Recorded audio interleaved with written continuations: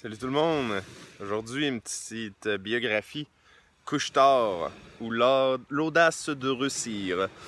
Euh, Monsieur Alain Bouchard, un des euh, entrepreneurs québécois euh, qui, a, le plus de succès présentement dans le monde. Hein. son entreprise qu'il a créée avec trois associés, si je ne me trompe pas, vaut maintenant près de, 50 milliards ou plus que 50 milliards si je ne me trompe pas.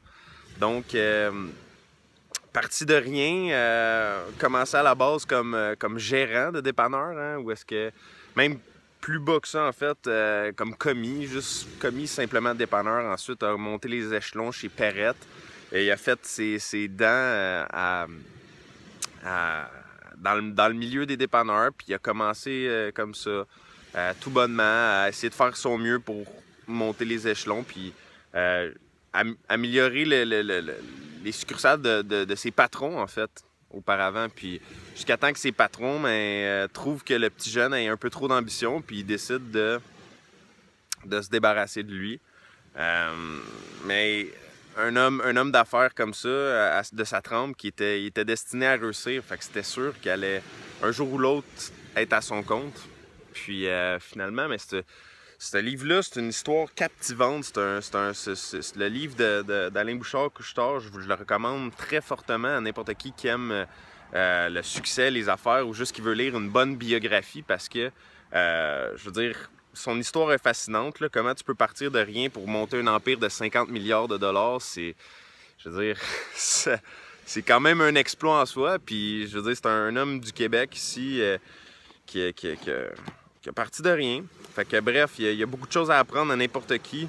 Puis même si vous aimez pas les affaires, ben c'est un, très bon livre. C'est passionnant comme histoire. Euh, ça pourrait quasiment être de la fiction, ça pourrait quasiment être un livre de fiction tellement que c'est euh, tellement qu'il y a plein de, belles histoires à l'intérieur puis tout ça. Puis euh, qu'est-ce qui est intéressant, une chose qui est intéressante, c'est que son désir de se lancer en affaires, Alain Bouchard, vient de son, de son père, en fait, qui, qui était un homme d'affaires aussi. Sauf que dans les années 50, euh, il a fait une faillite ou proche de la faillite, je pense, mais je pense que c'est une faillite. Euh, puis il a tout perdu. Tout perdu. Puis dans ces années-là, c'était pas aussi facile qu'aujourd'hui se repartir en affaires après une faillite. Fait que, première chose, il faut se considérer chanceux. Si tu es en affaires aujourd'hui, c'est plus facile si tu fais faillite. Tu peux recommencer. Fait que c'est. On est tellement chanceux, là. On vit à une époque où est-ce que c'est tellement facile de se lancer en affaires facile. OK, c'est pas facile. C'est très, vraiment pas facile. Moi, je peux vous le dire, c'est ma, ma. À l'abri, c'est ma, ma, cinquième entreprise que j'ai démarrée. Puis, euh, en fait, les quatre premières, c'est ça, ont échoué parce qu'il fallait que j'apprenne des choses importantes. J'avais 17 ans quand j'ai parti ma première. Puis là, ben, j'ai. Aujourd'hui, je vais avoir 24 ans euh, demain, en fait. Puis, euh, puis c'est ça, mais tu sais, il faut apprendre des choses. La vie veut nous apprendre des choses. Puis faut euh, y aller étape par étape. Mais bref, euh, c'est pas à propos de moi, c'est à propos de euh, Couchetard puis l'audace de réussir. Mais aujourd'hui, on vit à une époque tellement facile pour se lancer en affaires. Puis je dis pas facile dans le sens que je sous-estime pas à quel point c'est difficile de se lancer en affaires, mais à comparer aux années 50, à comparer à l'époque où est-ce que tu faisais faillite, puis il fallait que tu rembourses tes dettes quand même. Tu faisais faillite, mais tu remboursais tes dettes quand même. Pendant dix ans, son père a continué de, de repayer ses dettes puis de, il a traîné cette trace-là avec lui pendant longtemps. Parce que son père, c'est un homme d'affaires, comme je disais, puis il a, échoué comme, comme bon nombre d'affaires avant, avant, avant lui. Puis il y, a, plein de monde. Ça fait partie de des affaires, l'échec. Ça fait partie de, du processus d'apprendre en affaires. Euh, l'échec. Puis euh, aujourd'hui, ben, tu peux t'en remettre dans, le temps, tu pouvais pas, euh, tu pouvais pas t'en remettre aussi facilement. Fait que, euh, c'est, une chance qu'on a aujourd'hui.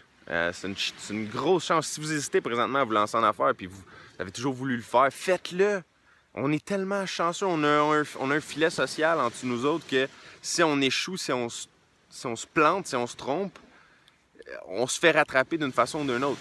Puis t'es pas obligé de te planter aussi aujourd'hui en faisant faillite, là, tu peux juste prévoir un, 15 000 de côté que tu te lances en affaires, puis tu vas le, au pire, tu le perds tout. C'est ça le pire des cas, mais tu vas avoir essayé, puis tu vas avoir appris énormément en le faisant. Puis après ça, tu vas repartir d'autres choses. Puis c'est. Euh, je vous le dis, moi, par expérience, c'est une des, meilleures façons d'apprendre, selon moi, à se lancer en affaires, c'est de le faire tout simplement, puis d'apprendre au travers de la route. Mais bref, euh, c'est comme ça un peu qu'il l'a fait. Euh, Alain Bouchard, il a commencé tout simplement avec un dépanneur, puis de fil en aiguille comme ça, il a monté son empire. tout ce qu'il essaie de faire, c'est toujours en essayant d'optimiser chaque processus, chaque petite étape, chaque, euh, chaque détail dans, dans, chacun de ses magasins. Mais essayer de, mettre le présentoir un petit peu plus beau, essayer d'avoir un, meilleur sourire quand les gens arrivent, essayer de, toujours faire un petit peu mieux. Puis c'est comme ça que, euh, que l'empire de Couchetard s'est bâti, parce qu'en faisant toujours un petit peu mieux, euh, tu finis par, par, par, être meilleur que les autres, parce que la plupart euh, c'est difficile quand même en entreprise. Puis il y a beaucoup d'entreprises qui, échouent parce que justement, ils n'ont pas ce souci-là d'être toujours meilleur. Quand tu as le souci d'être toujours meilleur, tu vas finir par dépasser les autres un jour ou l'autre si tu travailles plus fort, puis si les. Euh, les, s'il y a un paquet de facteurs qu'il faut qu'ils soient, euh, de ton bord aussi. Mais bref, à son époque, dans les débuts des dépanneurs, euh, il a travaillé juste plus fort que les autres. Puis il a, dit un jour à, un de ses gérants chez Provisoire, il dit Un jour, on va vous acheter. Puis finalement, il l'a fait. Tu sais, c'est le genre de gars qui il, il avait rien pour l'arrêter. Puis c'est ça qui a fait son succès, Alain Bouchard aussi, parce qu'il n'y avait rien pour l'arrêter. Fait qu'est-ce que j'ai à de ce livre-là, moi, personnellement, c'est beaucoup, justement, de jamais arrêter de vouloir être meilleur, de toujours s'améliorer.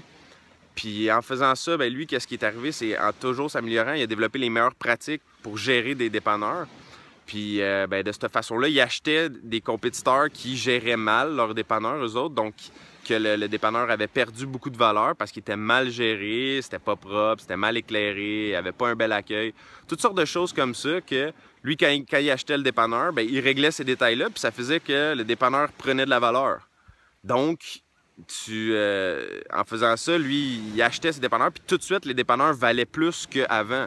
Fait de cette façon-là, ben, il s'enrichissait toujours plus parce que tu achètes un dépanneur 150 000, il vaut 150 000 parce que la personne le gère mal, mais lui, il le gérait mieux. Puis ça faisait ben, que son dépanneur, au lieu de valoir 150 000, valait 250 000. Fait qu'il venait de faire 100 000 quand il achetait un dépanneur. Donc, t'imagines-tu combien qu'il voulait en acheter, lui? À chaque dépanneur qu'il achetait, il faisait 100 000. Il dit, je vais en acheter le plus possible, tu sais. Puis c'est comme ça que, euh, que, que, tu viens à bâtir l'Empire de Couchetard, qui aujourd'hui compte 12 000 magasins. 12 000 magasins. Puis ce gars-là a fait ça en même pas 30 ans, 40 ans de vie, tu sais. En 30 ans, 40 ans, comment tu peux ouvrir 12 000 magasins? Essaye d'y penser, là, avec ta tête présentement, où est-ce que tu te situes dans la vie, comment tu peux partir 12 000 magasins? C'est pas rien, là. Fait que euh, moi, je vous dis, lisez ce livre-là. Euh, je peux essayer de vous le résumer, je pourrais vous en parler toute la journée, mais euh, ça ne vaudra pas l'impact que ce livre peut avoir sur votre vie. Puis le fait de le lire au complet, puis de, s'y mettre, de passer du temps à le lire, ça va vous bénéficier grandement dans votre vie d'entrepreneur. Fait que ben, je vous souhaite là-dessus bon succès tout le monde. Salut!